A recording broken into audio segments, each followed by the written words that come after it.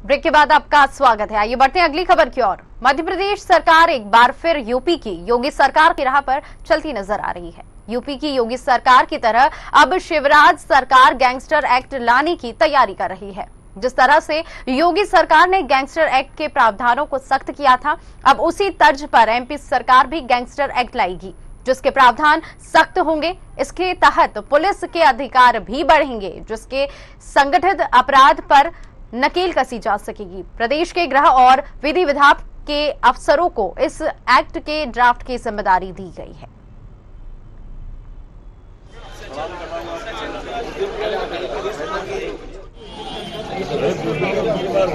अपराधों को काबू में करने गैंगस्टर एक्ट लेके मध्य प्रदेश में आ रही है। इसका नाम मध्य प्रदेश गैंगस्टर विरोधी विधेयक होगा। इस गैंगस्टर की व्यापक परिभाषा भी मैं आपके सामने रखना चाहूँगा, आपके माध्यम से जनता के बीच में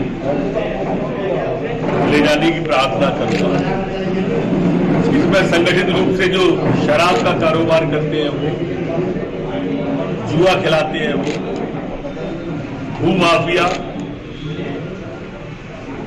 जो हमारे खनिज माफिया, वन माफिया, ये विस्फोटक जो जिसमें आता है इस तरह के जो संगठित अपराध होते हैं, वो सब इस गैंगस्टर कानून के अंतर्गत आएगा। इसमें सजा के लिए भी प्रथम दृष्टिया दो से दस वर्ष तक की कारावास की सजा होगी, पच्चीस हज़ार का जुर्माना होगा। अगर वह लोक सेवक पर भी हमला करता है, जैसा आपने देखा होगा किसी अधिकारी पकड़ने गए और उन्होंने अधिकारी पर पथराव कर दिया, हमला किया। तो ये सजा दो की जगह पाँच से पाँच से दस हो जाएगी और जुर्माना तीस हज़ार हो जाएगा। जो गैंगस्टर के सहयोगी हैं, उनको भी इसमें एक्ट के अंदर लेके आए हैं और उनको भी तीन से दस साल तक की सजा और जुर्माना उन सहयोगियों पर भी रखा गया है। गैंगस्टर अपने काले कारनामों के द्वारा जो बेहिसाब संपत्ति बना लेते हैं, वो संपत्ति भी रात सात होगी खुर्दबुर्द होगी, जब्त होगी। इसी तरह से इनके लिए अलग से विशेष न्यायालय बनाया जाएगा।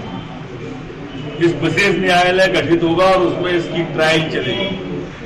गैंगस्टर की अनुपस्थिति में भी ये ट्रायल चलती रहेगी। ये बाधित नहीं होगी। इसके साक्ष्य, बयान सारे निरंतर जारी रखेंगे, वो विचुअल वर्चुअल भी हो सकते हैं एक्चुअल भी हो सकते हैं। इसमें जो इसके साक्षी हैं, इनके खिलाफ जो गवाही देते हैं, उनकी गवाही बंद कमरे में न्यायाधीश के सामने होगी, उन्हें पूरा संरक्षण प्रदान किया जाए